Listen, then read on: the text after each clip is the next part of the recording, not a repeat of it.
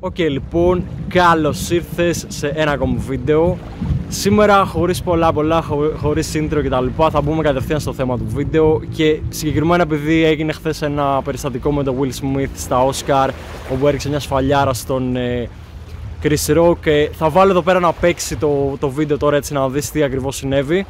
You know who's got the hardest job tonight? Javier Bardem and his wife are both nominated. Now, if she loses, he can't win. he is praying that Will Smith wins. Like, please, Lord. Jada, I love you. G.I. Jane 2, can't wait to see it. All right?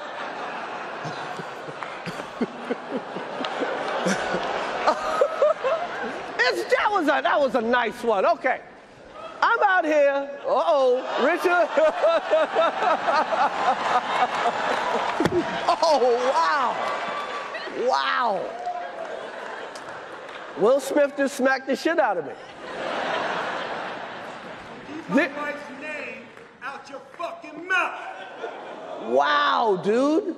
Yes. It was a G.I. Jane jump. Keep my wife's name out your fucking mouth. I'm going to, okay? I could, oh, okay. That was a greatest night in the history of television. Okay. Okay. Και τέλος πάντων, επειδή έγινε αυτό το περιστατικό, πάρα πολλοί μου ζητήσατε, μου στείλατε μήνυμα στο Instagram και μου ζητήσατε να το σχολιάσω, να πω την άποψή μου. Έκανα και ένα story στο Instagram που είπα πολύ σύντομα την άποψή μου, αλλά αποφάσισα να κάνω και ένα βίντεο που θα μπούμε λίγο πιο βαθιά στο θέμα για να καταλάβεις κάποια πράγματα. Τέλος πάντων, τι έκανε ο Will Smith, ήταν στα Oscar με τη γυναίκα του, με την Jada Pinkett και ο παρουσιαστής ο, ο Chris Rock έκανε ρε παιδί μου έτσι κάποια αστεία, είναι κωμικός. Γενικότερα ε, είναι αυτό που λέμε πειραχτήρι. Προφανώς πρόκειται και για ένα show που θέλουν έτσι να πουλήσουν, γενικότερα να δημιουργηθούν διάφορες αντιδράσεις. Ε, με αυτό τώρα που λέω δεν ξέρω αν όντως ε, ήταν 100% αυθόρμητη η αντίδραση του Will Smith, ήταν στημένο το όλο σκηνικό και γενικότερα υπήρχε κάποια, κάποιος δόλος, κάποια στρατηγική πίσω από όλο αυτό. Δεν μπορώ να το ξέρω, αν και η εμπειρία μου διαβάζοντας γενικότερα τις ε, κοινωνικές δυναμικές και τις συμπεριφορές των ανθρώπων μου λέει ότι ήταν αυθόρμητη η συμπεριφορά του και θα σου εξηγήσω σε λίγο γιατί ήταν αυθόρμητη και τι τον οδήγησε να φτάσει εκεί πέρα. Από την άλλη, βέβαια, ρε φίλε, μπορεί όντως όλο αυτό να ήταν αισθημένο. Σκέψω ότι πρόκειται για έναν ε, από τους καλύτερους ηθοποιούς, ο οποίος πήρε και Όσκαρ εντωμεταξύ εκείνη τη βραδιά. Ε, Επομένως, μπορεί όντως όλο αυτό να ήταν σκηνοθετημένο και να προσποιήθηκε και να είχε ένα σκοπό η όλη ενέργεια και το όλο σκηνικό. Ε, αλλά ας πάρουμε ως δεδομένο ότι ήταν αυθόρμητη η αντίδρασή του και ότι όντως ρε παιδί μου ενοχλήθηκε από το σχόλιο που έκανε ο παρουσιαστής για τη γυναίκα του.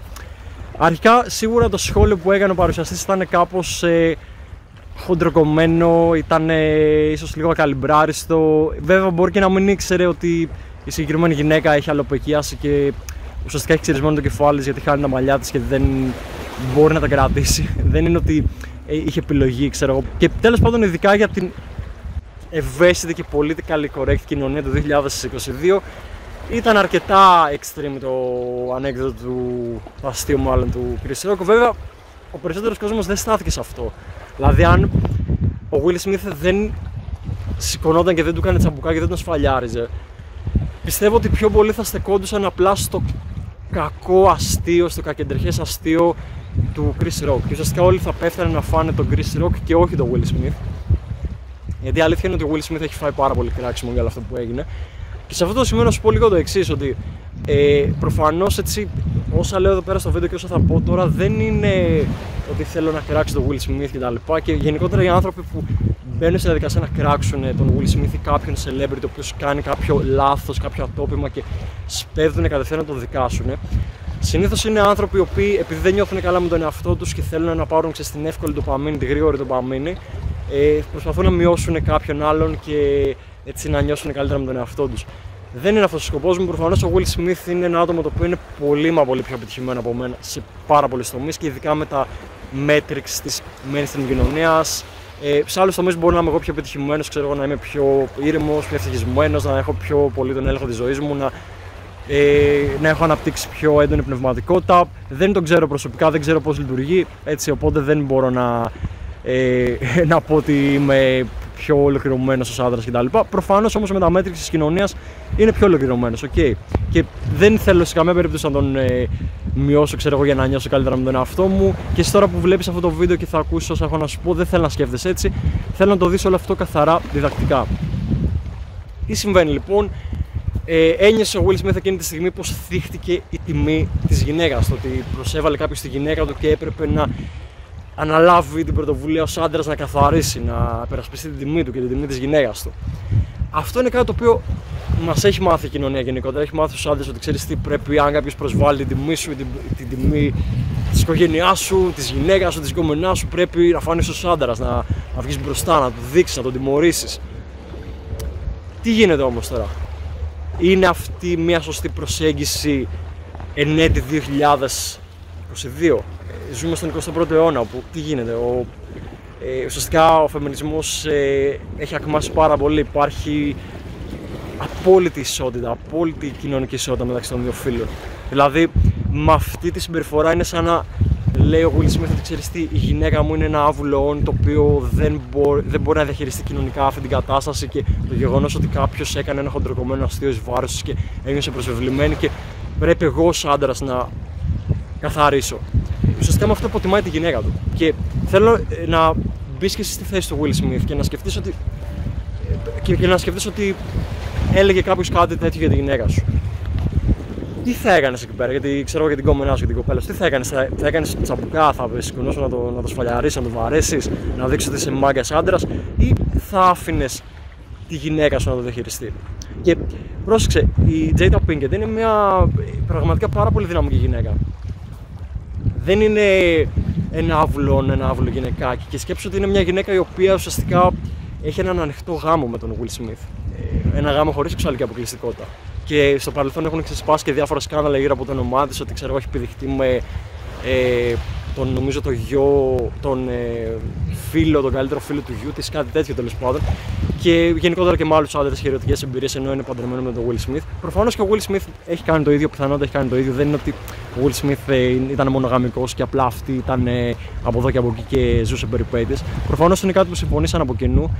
Το αν διαφωνεί συμφωνείς με αυτό είναι ένα άλλο θέμα. Ε, προσωπικά, εφόσον το θέλανε και εφόσον ήταν και οι δύο OK με αυτό, συμφωνώ, κομπλέ είναι αποδεκτό. Γενικότερα είμαι της άποψης ότι οι άνθρωποι πρέπει να είναι ελεύθεροι να κάνουν ό,τι θέλουν στι σχέσει τους, εφόσον όμως το συμφωνούν και είναι, και είναι και οι δύο OK με αυτό. Και τέλος πάντων, μιλάμε για, για μια τέτοια γυναίκα. Επομένως, μια τέτοια γυναίκα λοιπόν δεν έχει την ανάλογη προσωπικότητα, δεν έχει τις κοινωνικές δεξιότητες όταν κάποιος την προσβάλλει. Δηλαδή, μπορούσε να του πει, να σκοθεί η Τζέτα που και να του πει εκείνη τη στιγμή, ε, Κρίστα, σε διακόψω λίγο να σου πω κάτι. Ε, ο λόγος που έχω έτσι στο κεφάλι μου δεν είναι ότι το επέλεξα, δεν είναι στιλιστικός ή για κάποια ταινία. Ε, δεν θέλω να αποδείξω κάποιο ρόλο. Απλά έχω ένα πρόβλημα υγείας πολύ σοβαρό το οποίο με αναγκάζει να έχω έτσι τα μαλλιά μου, με αναγκάζει να μην έχω μαλλιά. Το ήξερες αυτό. Ελπίζω τώρα που το λέω αυτό να νιώθεις λίγο άσχημα και να, να καλέσει και να μου ζητήσεις συγγνώμη. Σκέψου να έκανε αυτό το πράγμα η ίδια η Jada Pinkett ή στην τελική να το έκανε ακόμα και ο Will Smith. Αλλά πάλι δεν, ήταν ο ρόλο, δεν είναι ο ρόλος του Will Smith να βγάλει το φίδι από την τρύπα. Και γενικότερα θέλω να έχεις το εξής πράγμα στο μυαλό σου ότι δεν είναι ο ρόλος των ανδρών, ειδικά πλέον στη σύγχρονη κοινωνία, να σώζουν τις γυναίκες, να είναι προστάτες των γυναικών. Δεν είμαστε οι λευκοί πότε, δεν είμαστε οι, οι δούλοι των γυναικών. Αυτό συνέβαινε κάποτε που ουσιαστικά η κοινωνία ήταν πολύ διαφορετική και υπήρχαν πολύ περισσότεροι κίνδυνοι. Και αναγκαστικά σε κάποιες περιπτώσεις μια γυναίκα δεν μπορούσε να διαχειριστεί αυτούς τους κινδύνου. Δεν είχε τα εφόδια, δεν είχε ε, την στήριξη ξέρω εγώ, από, από το κράτος, από τους νόμους κτλ. Πλέον όμως υπάρχει αυτή η στήριξη. Πλέον όλοι είμαστε ισότιμοι, όλοι είμαστε ανεξάρτητοι, όλοι μπορούμε να ζήσουμε ελεύθερα σε αυτόν τον κόσμο και να κάνουμε ό,τι θέλουμε. Και να σου πω και το άλλο, ρε φίλε, ότι βλέπεις, ας πούμε, τι να σου πω, βλέπεις ότι γενικότερα οι άντρες είμαστε πιο αναλώσιμοι όσον αφορά ε, την ε, σωματική μας ακυρεότητα και, και την ίδια μας ζωή. Δηλαδή, πάρε ένα παράδειγμα ε, με τον πόλεμο, ξέρω εγώ, και ειδικά αυτό τώρα που γίνεται στην Ουκρανία. Ουσιαστικά απαγορεύτηκες σε όλους τους ενήλικες άντρες να φύγουν από τη χώρα γιατί, γιατί πρέπει να πολεμήσουν. Γιατί είναι άντρες, πρέπει να πολεμήσουν. Ενώ οι γυναίκες, ας πούμε, δεν πολεμάνε, ξέρω εγώ. Δηλαδή, δεν θεωρεί, θεωρεί, είναι σαν να θεωρείται η, η, η ζωή μιας γυναίκας πιο σημαντική από τη ζωή ενός άντρα.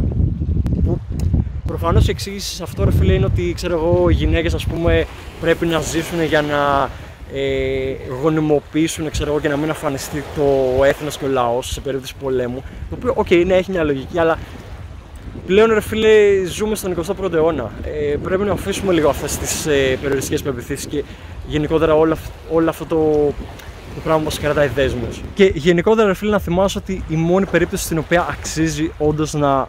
Όχι βασικά αξίζει, είναι η βέλτιστη λύση, η βέλτιστη επιλογή να χρησιμοποιήσεις σωματική βία απέναντι σε κάποιον είναι όταν απειλείται η ίδια η, η δικιά σου σωματική ακαιρεότητα ή η σωματική ακαιρεότητα της κοπέλας, της γυναίκας σου κτλ. Γιατί προφανώς ρε φίλε, αν κάποιος ξέρω εγώ απειλεί εσένα και τη γυναίκα σου, η γυναίκα σου δεν μπορεί να υπερασπίσει τον εαυτό της σωματικά στον ίδιο βαθμό που μπορείς εσύ. Γιατί είσαι σωματικά και μη πιο ανεπτυγμένος. Okay.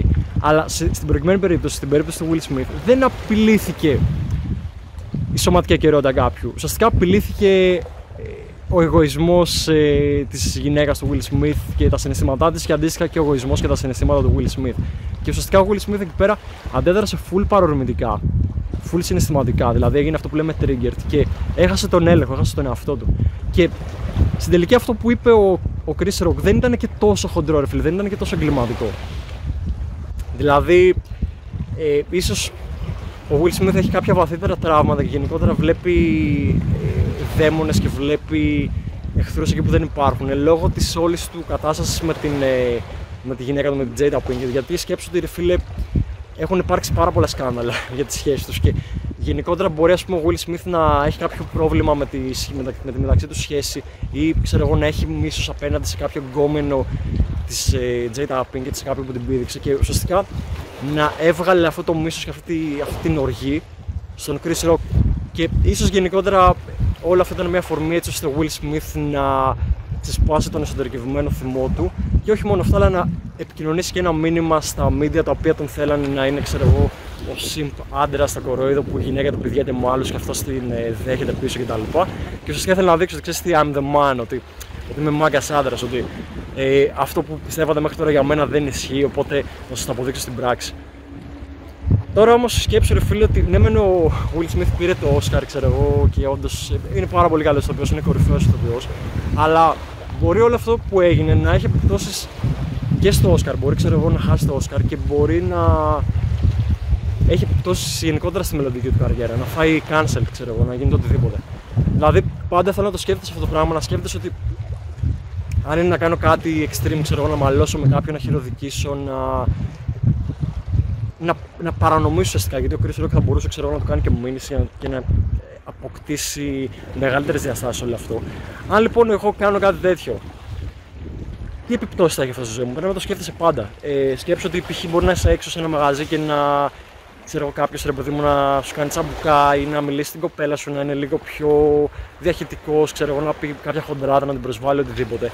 Σκέψου λίγο αν εσύ ας πούμε πας και παίξεις ξύλο μαζί του, ξέρω εγώ και του κάνεις τσαμπουκά, τι μπορεί να συμβεί, ρε φίλε, τι επιπτώσεις μπορεί να έχει όλο αυτό; Ε, πέρα από ότι θα σου χαλάσει βραδιά, μπορεί ξέρω εγώ, να μπλέξεις ρε φίλε να βρεθείς στο τμήμα, να, σε, να σου κάνω ξέρω, προσαγωγή, ή μπορεί να του κάνεις κακό ρε φίλε και να ακόμα και να τον τραυματίσεις και να, ή να το σκοτώσεις και να βρεθείς κατηγορούμενος για πρόκληση σωματικών βλαβών ή για ανθρωποκτονία. Ή μπορεί να συμβεί το αντίστροφο. Ο ίδιος ξέρω εγώ να σου προκαλέσει σωματικές βλάβες και σε ακόμα χειρότερες περιπτώσεις να σε σκοτώσει.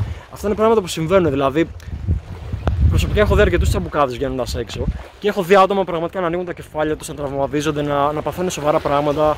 Ή ξέρω εγώ, θυμάμαι όταν ήμουν στο Λαγανά σεζόν το 2016, το 2017, ε, είχαν σκοτώσει στο ξύλο έναν τουρίστα επειδή μίλησε σε μια κοπέλα που ήταν στην παρέα κάποιων Σέρβων και ουσιαστικά τον πλακώσαν 20 άτομα και τον σκοτώσαν εκείνη τη στιγμή. Σκέψω ότι η ζωή αυτών των ανθρώπων καταστράφηκε. Δηλαδή πρέπει να τα σκέφτεσαι όλα αυτά. Ότι ένας καυγάς, ένας τσαμπουκάς, πέρα από την ικανοποίηση του εγωισμού σου, δεν έχει να σου προσφέρει άλλα πράγματα. OK. Okay. Τέλος πάντων, αυτό ήταν το βίντεο. Ε, εννοείται, άμα σου άρεσε, κάνε like, subscribe. Περιμένω και την άποψή σου κάτω στα σχόλια. Ξέρω ότι μπορεί αυτά που λέω να διαφωνούν με τις ήδη υπάρχουσες πεποιθήσεις που έχεις και εσύ να έχεις μάθει ότι oh, εγώ σαν άντρας πρέπει να υπερασπίζομαι την τιμή μου και δεν θα μου την πει κανένας και δεν θα προσβάλλει κάποιος την κοπέλα μου κτλ. Ε, OK, okay, καλό είναι ρε φίλε να υπερασπίσεις την τιμή σου, εννοείται να, έχεις, να βάζεις όρια, να μην δέχεσαι πράγματα, αλλά κυρίως χρησιμοποιήσει τις κοινωνικές σου δεξιότητες και την επικοινωνία σου για να βάλεις κάποιον στη θέση του, να τον κάνεις να νιώσει άσχημα και να καταλάβει το λάθος του και να ανακαλέσει, να ζητήσει συγγνώμη και να μην χρειαστεί να μπει σε άλλες διαδικασίες και να μπλέξει περισσότερο. Και να θυμάσαι πάντα πως η σωματική βία είναι πραγματικά η τελευταία σου επιλογή, είναι το τελευταίο σου καταφύγιο και θα πρέπει να τη χρησιμοποιήσει μόνο όταν δεν έχεις άλλη επιλογή και όταν πραγματικά νιώθεις ότι απειλείσαι. Αλλιώς σκέψω ότι είσαι απλά αυτό που λέμε ένας τραμπούκος, ο οποίος είναι. Ένας τραμπούκος τι είναι, είναι ένας άντρας ο οποίος είναι συναισθηματικά αδύναμος και δεν μπορεί να διαχειριστεί κάτι αρνητικό που του συμβαίνει και εκείνη τη στιγμή απλά αντιδράει με τη βία γιατί αυτό έχει μάθει, δεν, δεν έχει μάθει κάτι άλλο και ουσιαστικά είναι και μια αντίδραση του, του οργανισμού σου, του, του μυαλού σου, του εγωισμού σου που σου λέει ότι δεν μπορώ να το δεχτώ αυτό που έγινε, πρέπει κάπως να το λύσω, αλλά δεν ξέρω άλλο τρόπο για να το λύσω και να το σταματήσω, οπότε θα χρησιμοποιήσω τη βία. Ε, Πραγματικά είναι ό,τι χειρότερο. Είναι, είναι ό,τι, ό,τι μάλλον. Το χειρότερο σου εξήγησα τους λόγους. Επομένως, πρόσεχετε πάρα πολύ. Αυτά για αυτό το βίντεο. Θα τα πούμε στο επόμενο. Να είσαι καλά. Σε ευχαριστώ πάρα πολύ που παρακολούθησες. Γεια χαρά. Perfect. Perfect. Perfect.